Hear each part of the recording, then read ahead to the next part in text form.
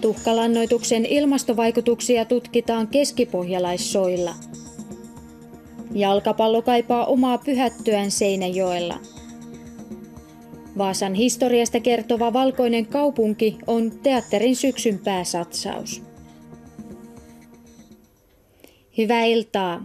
Uusi lentoyhtiö Flybe avaa lentoreitin Vaasasta Tallinnaan. Lennot alkavat marraskuussa, jolloin väliä liikennöidään kuusi kertaa viikossa – Kokkola Pietasaaren kentältä Flybe lentää Helsinkiin ja Skellefteåhon. Seinäjoelta lennetään jatkossakin, mutta päivittäisten vuorojen määrä Helsinki-Seinäjoki välillä vähenee kolmeen. Flybe pitää Vaasan ja Kokkolan seutuja tärkeinä alueina. We see very much that there's potential. Otherwise, we wouldn't have introduced a new route today. We also understand that you can have airports within the same hour and a half, two hour drive time and still provide them with the same services. We have many examples in the rest of Europe where we have services to the same place from airports within an hour and a half to two hours. We will obviously learn uh, as we go through the next few months and the next six months to a year how the passenger numbers come into place. Vaasan seudulla tieto uudesta reitistä otettiin innostuneena vastaan. Riitta Björkenheim Vaasan seudun kehitys kertoo, että nyt pohditaan yhteisesti, miten uuden reitin starttia tuetaan. Björkenheimin mukaan esimerkiksi kohdennettu Vaasan seudun vetovoimamarkkinointi Virossa voi tulla kysymykseen. Jalasjärven kunnassa kummastellaan kuntaministeri Henna Virkkusen lausuntoja eilisessä ajankohtainen kakkonen ohjelmassa – jossa käsiteltiin Jakkin tilannetta. Virkkusen mukaan Jalasjärven kunnan pitäisi myöntää tehneensä virhe ennen kuin takaisinperintää voidaan kohtuullistaa. Kunta pitää epäasiallisena, että kohtuullistamista ei tehtäisi Jakkin korvausasiassa sen takia, että kunta pitäytyy omassa näkemyksessään. Keskipohjalaissoilla ja metsissä on tehty kesän aikana ilmastonmuutostutkimukseen liittyviä kenttäkokeita – Suokaasunäytteistä tutkitaan, lisääkö vai vähentääkö tuhkalannoitus kasvihuonekaasupäästöjä. Seurasimme näytteiden keräjän viimeistä työpäivää Suometsässä. Iisalmelainen Mia Kauppinen on toukokuun lopulta lähtien tottunut kantamaan tutkimusvälineitä kaukaisillekin suolohkoille kolmena päivänä viikossa. Sievin nahkaneva tuhkalannoitettiin kahdeksan vuotta sitten – Näytteet Kauppinen ottaa myös viereiseltä alueelta, jota ei ole lannoitettu raetuhkalla. Yksinään mä täällä oot. Joskus on ollut joku mun apuna, varsinkin tota, Kuopiosta, jos on käynyt täällä porukkaa, mutta suurin piirtein yksinään mä täällä teen töitä. Ojitetut suot ovat merkittäviä ilmastonmuutokseen vaikuttavien kasvihuonekaasujen lähteitä. Tuhkalannoitus saa puut kasvamaan, mutta nyt haetaan kolmen eri alueen kenttätutkimuksilla selvyyttä siihen, lisääkö vai vähentääkö tuhkalannoitus metaani- ja hiilidioksidipäästöjä. 90-luvulla tehtyjen tutkimusten tulokset olivat ristiriitaisia. Täällä on tuommoisia kauluksia ja kammioita ja tota, niillä mitataan sitten tämän, tätä maahengitystä tai suokaasuja – Yhteispohjoismaisessa hankkeessa mukana oleva Itä-Suomen yliopisto löysi tutkimusalueet Keski-Pohjanmaan soilta Metlan kannuksen yksikön kautta. Tutkimusavustajalta näytteiden kerääminen vie päivittäin kolmisen tuntia. Miten näiden metsäneläinten kanssa tulee toimeen? No ei ole karhuja onneksi näkynyt vielä, pari hirveä ja jäniksiä ja tämmöisiä, että ei mitään kovin pelattavaa vielä. Kenttätyön jälkeen näytteet analysoidaan Kuopiossa ja parivuotinen tutkimus valmistuu ensi vuonna. Kunnallistekniikan rakentaminen Kokkolan asuntomessualueelle maksoi arvioitua vähemmän. Kaupunki käyttää säästyvät 400 000 euroa katujen päällystämiseen. Kokkola oli varannut messualueen kunnallistekniikkaan 3,5 miljoonaa euroa. Säästörahoilla päällystetään muun muassa uusien asuntoalueiden katuja.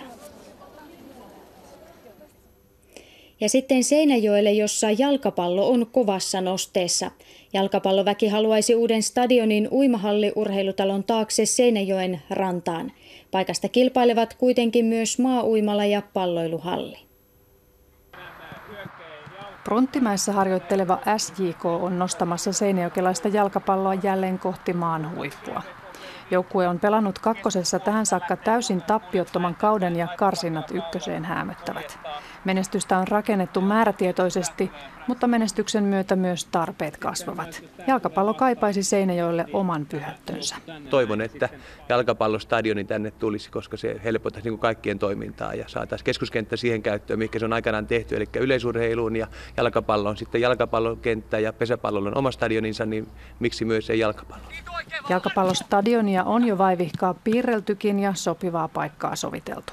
No meillähän on yksi valmis paikka, joka on tuossa jääurheilukeskuksen kupeessa nykyisen Tekonurmen vieressä, että se on kaavallisesti valmis paikka ja muita paikkoja ei ole, että kaikki muut vaativat sitten kaavamuutoksia. Kyllähän erinomainen paikka olisi tuossa urheilutalon ympäristössä, mutta onko se sitten mahdollista, niin se on, se on muiden ihmisten päätettävissä.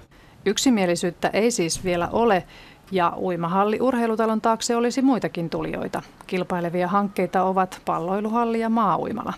Lapualle maa rakentavat yrittäjät ovat käyneet esittelemässä hankettaan Seinäjoellakin.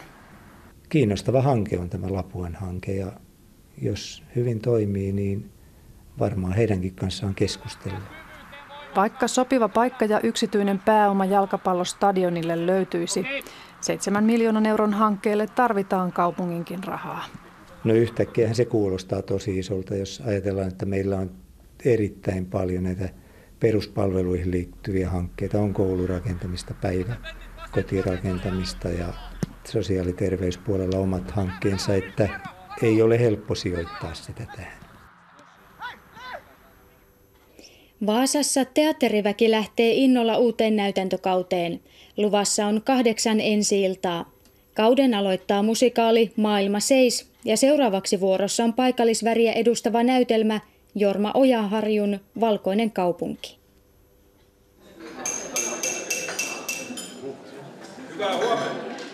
Väki teatterissa odottaa jo malttamattomana lavalle pääsyä.